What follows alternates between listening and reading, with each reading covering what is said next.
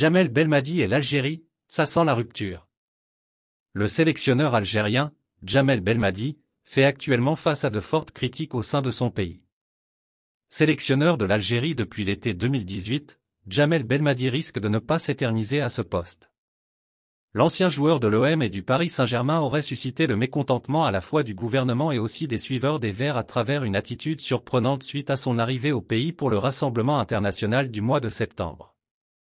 Belmadi agace les hautes instances algériennes. L'Algérie dispute dans les prochains jours de match, le premier face à la Tanzanie en éliminatoire de la Cannes, le 7 septembre à Annaba, et le second contre le Sénégal, le 12 à Dakar. Pour préparer ces deux parties, Belmadi n'a débarqué à Alger que ce vendredi. Et au moment de son arrivée, il a surpris tout le monde en choisissant de délocaliser à la dernière minute le lieu du stage.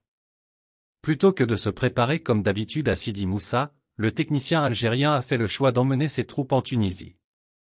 La raison de ce déménagement soudain? La pelouse du centre algérien. Celle-ci serait en très mauvais état suite à la période estivale. Il n'y a eu aucun entretien de fait depuis les matchs de juin. L'entraîneur champion d'Afrique 2019 a eu raison de se plaindre des conditions de travail.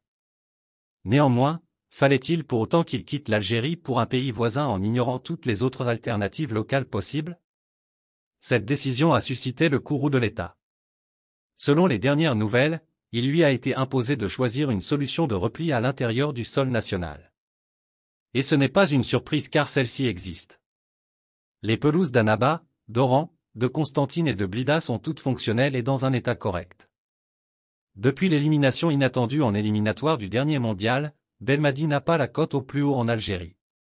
Et avec cette polémique, il risque de se retrouver encore plus isolé, même s'il convient de mettre également en avant la responsabilité de la Fédération algérienne de football.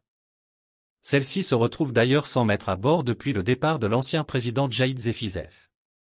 Est-il un contractuel ou un freelancé? Et il n'y a pas que les hautes instances du pays que le natif de Champigny-sur-Marne commence à sérieusement irriter. Les supporters et aussi les observateurs sont aussi lassés de sa manière de fonctionner. Le principal reproche qui lui est fait c'est de n'être présent au pays que lors de la période des matchs. Alors que sa fonction de sélectionneur requiert qu'il soit sur place régulièrement, il continue d'habiter au Qatar. Est-il sous contrat avec la Fédération algérienne de football ou est-il un simple freelancé? C'est notamment interrogé le journaliste Nejmedine Sidi Atman dans une chronique publiée ce samedi. Merci de bien vouloir activer la cloche et de cliquer sur j'aime.